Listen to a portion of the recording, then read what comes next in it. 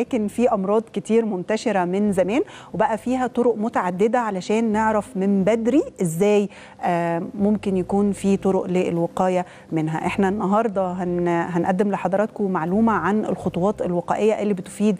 60% من حالات فقدان السمع في معلومه تهمك ونرجع نتكلم معاك ونكمل معاكم حلقتنا